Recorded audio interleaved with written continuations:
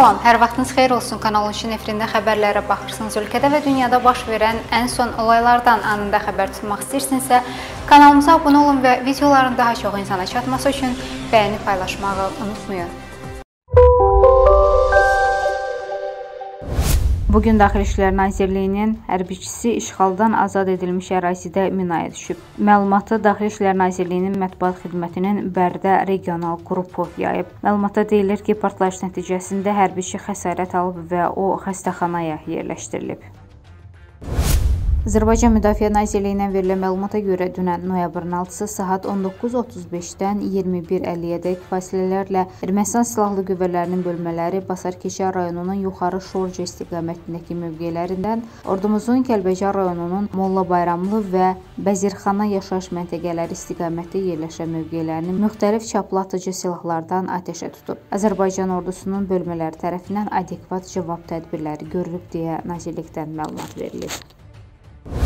Haqq Ədalət Partiyasının sədr müavini İsfəndiyar Vahabzadə üzv olduğu partiyadan istefa verib. O bu addımı həbs sədri Əli İnsanovun prezident İlham Əliyevin siyasi kursunu dəstəklədiyini bildirəndən sonra atıb. İsfəndiyar Vahabzadə deyib ki, əqidə dönüşlüyünü bağışlaya bilmir və istəmir ki, sabah onun baş daşına tüpürsünlər. Stat: Həyatda çox şeyə nail olmuşam və istəmirəm ki, mən öləndən sonra baş daşıma tüpürsünlər. O baş daşında yazmayacaqlar ki, bu səfir olub, elmlər doktoru, professordur. Orda yazacaqlar ki, İsfəndiyar oğlu Vahabzadə. O partiyada qalmaq mənim familiyama xələl gətirir. Statın sonu. Xatırladaq ki, Haqq Ədalət Partiyasının sədri Əli İnsanov partiyasının noyabrın 5-də baş tutan idarə heyətinin iclasındakı çıxışı zamanı prezident İlham Əliyevi dəstəkləmək qərarına gəldiklərini açıqladı.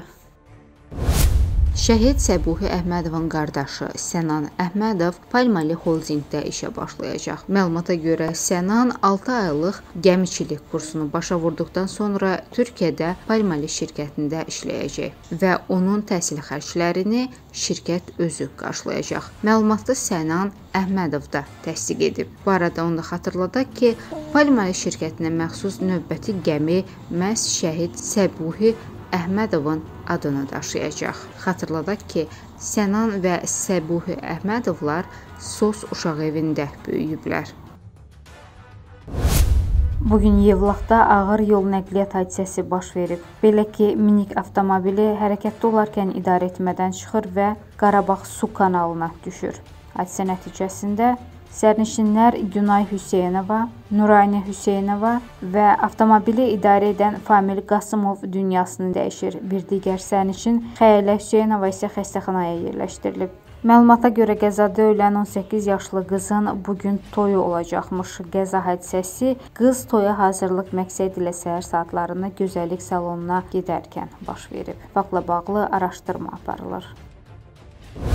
Ermənistanla İran arasında yeni saziş imzalanıb. Beləliklə bundan sonra İran elektrik enerjisi müqabilində Ermənistana qaz ixrac edəcək və bunu 2 dəfə artıracaq. Hazırda isə İran Ermənistana gündəlik 1 milyon kubmetr qaz ixrac edir. Ukrayna Silahlı Qüvvələrinin baş qərargahı Rusiyanın bu günədək Ukraynada itirdiyi canlı qüvvəsinin sayını açıqlayıb. Qərargahdan verilən məlumata görə Rusiya Silahlı Qüvvələri indiyədək Ukrayna ərazisində 76460 hərbiçisini itirib. Son sutq ərzində isə Ukraynada Rusiyanın 530 canlı qüvvəsi zərərsizləşdirilib. Bununla yanaşı Ukraynada Rusiya Silahlı Qüvvələrinin 2771 tankı, 5630 zirehli maşını, 1472 operativ taktiki puası, 1782 artilleriya sistemi, 399 reaktiv yaylım atəşi sistemi, 202 hava hücumundan müdafiə sistemi, 277 təyyarəsi, 260 helikopteri, 4199 avtomobil və tankeri, 157 xüsusi texnikası məhv edilib. Neft fondu bu ilin yanvar-oktyabr ayları üzrə gəlirlərini açıqlayıb. Belə ki, yanvar-oktyabr ayları üzrə Azəri Çıraq günəşli yatağı üzrə əldə olunan gəlir 8 milyard 326 milyon dollar təşkil edib. Fonddan verilən məlumata görə bu ötən ilin eyni dövrünün göstəricisi ilə müqayisədə 3 milyard 713,9 milyon dollar və ya 80,5% çoxdur. Hesabat dövründə Şahdəniz yatağı üzrə qaz və kondensat satışından əldə olunan gəlirin həcmi 2,6 dəfə və ya 747 milyon dollar artaraq 1 milyard 209 milyon dollar təşkil edib. Eyni zamanda cari ilin ilk 10 ayında Şahdəniz yatağı üzrə kondensat satışından 328,6 milyon dollar əldə olunub ki, bu da illik nisbətdə 2,4 dəfə və ya 193,3 milyon dollar çoxdur deyə Neft fondundan bildirilib. Və sonda noyabrın 8-nə gözlənilən hava haqqında məlumatı diqqətinizə çatdıraraq Milli Hidrometeorologiya Xidmətindən verilən məlumata görə sabah Bakıda və Abşeron yarımadasında yağış yağacaq. Mülayim cənub-şərq küləyi əsəcək. Havanın temperaturu gecə 8-10, gündüz 12-14 dərəcə isti olacaq. Atmosfer təzyiqi 769 mm civə sütunu təşkil edəcək. Nisbi rütubət isə 70-80% olacaq. Azərbaycanın rayonlarında isə hava əsasən yağmursuz keçəcək, lakin gecə bəzi yerlərdə yağış yağacaq. Mülayim şərq küləyi əsəcək əsəcək. Havanın temperaturu gecə 5-9, gündüz 13-17 dərəcə isti. Dağlarda gecə 1 dərəcə şaxtadan 4 dərəcəyədək isti, gündüz 4-9 dərəcə isti olacaq.